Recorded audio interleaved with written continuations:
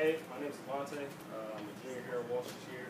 Uh, this is my second full year being at Walsh. Um, I transferred here from uh, Siena College, which is in New York, uh, upstate New York. Uh, pretty sure it's right next to Albany, little city uh, called Loudonville. Uh, I transferred because I'm kind of a family first first guy. Um, I live with my mom and two younger brothers, so the fact that I was kind of eight hours away they weren't able to come to games and stuff, and it was kind of getting to me.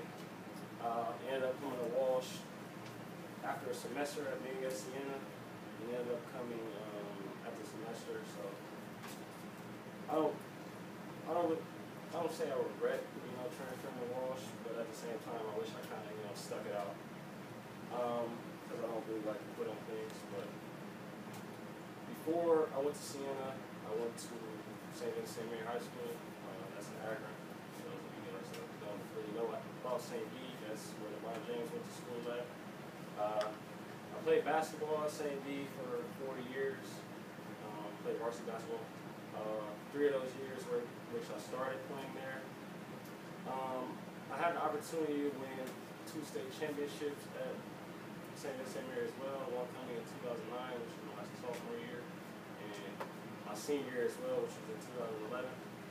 Uh, basically, obviously, that, kind of tells you I like to win. You know, uh, winning state championship isn't really too easy. So, uh, I like to win a lot.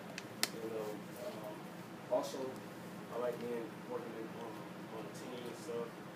Uh, I played basketball here at Walsh as well, so being on the team kind of, I guess it's kind of helpful because if you're, you know, not feeling it one day or something, you can depend on others to confidence up or, you know, help you get the things and you do same with others. So being on the team is kind of helpful. Uh, another thing that I, I kind of think I am is a leader. Uh, when I say leader, I don't really mean like pushing others or, or you know, yelling at my teammates or kind of getting on my teammates. I kind of being leader as, as shown by action. You know, if I see my teammates messing around in the weight room or in practice or something, I'm not really gonna yell at them, but I'm just gonna boost myself and try to work hard and show them what they should be. Uh, I feel like I'm, I'm, I'm very dedicated. I'm a very hard worker as well. Uh, I've been playing basketball for 14 years, so since I was six years old, and you know, I, I've really never given up.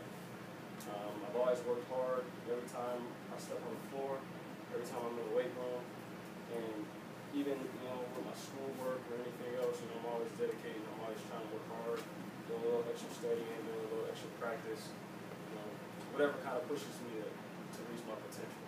So that's about it.